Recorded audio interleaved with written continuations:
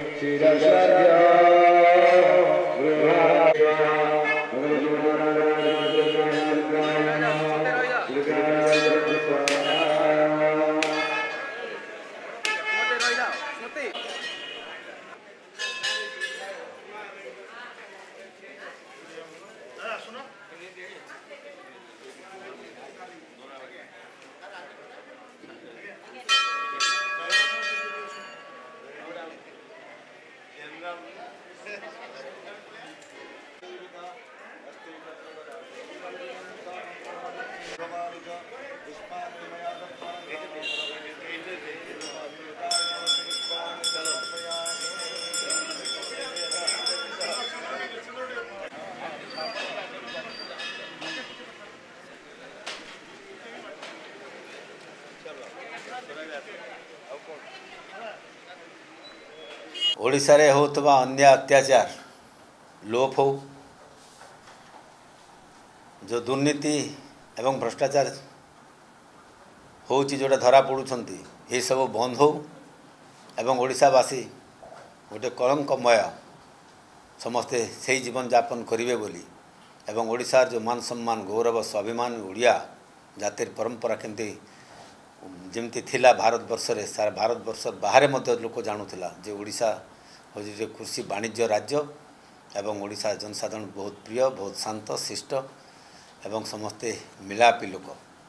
ଏ ଯେଉଁ ଓଡ଼ିଶାବାସୀଙ୍କର ଯେଉଁ ବାହାରେ ଜାଣୁଥିଲେ ଓଡ଼ିଶାବାସୀ ବିଷୟରେ ସେ ଓଡ଼ିଶା ପୁଣି ଥରେ ଓଡ଼ିଶାର ମାନ ସମ୍ମାନ ଓଡ଼ିଶାର ସମୃଦ୍ଧି ଓଡ଼ିଶାର ଗୌରବ ଓଡ଼ିଶାର ପରମ୍ପରା ପୁଣି ଥରେ ଗୌରବ ଓଡ଼ିଶାର ଫେରିଆସୁ ଏବଂ ଓଡ଼ିଶାବାସୀ ସମସ୍ତେ ଖୁସିରେ ଭାଇଚାରା ମିଶି ମିଳିମିଶିକି ଆମେ ସମସ୍ତେ କେମିତି ରହିବୁ ସେଥିପାଇଁ ମା ଦୁର୍ଗାଙ୍କ ପାଖରେ ଆଉ ଥରେ ମୁଁ ପ୍ରାର୍ଥନା କରୁଛି।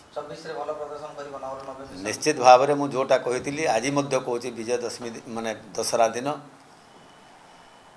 ଏକୋଇଶ ବର୍ଷ ବାଇଶ ବର୍ଷ ଶାସନରେ ବିଜେଡ଼ି ବିଜେପି ମଧ୍ୟ ସାଙ୍ଗରେ ଥିଲେ। ଏମାନଙ୍କର ଶାସନରେ ଓଡ଼ିଶାବାସୀ ସମସ୍ତେ ସଚେତନ ସମସ୍ତେ ଜାଣିସାରିଲେଣି ଏବଂ ସାରା ଓଡ଼ିଶାରେ ଜନ ଅସନ୍ତୋଷ ବ୍ୟାପିଛି।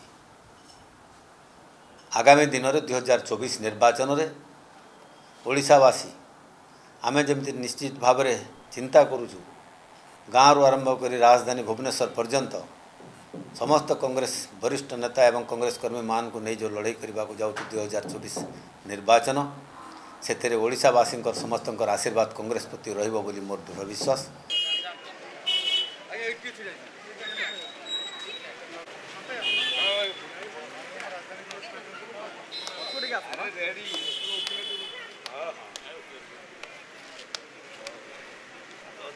ତା তা করো না।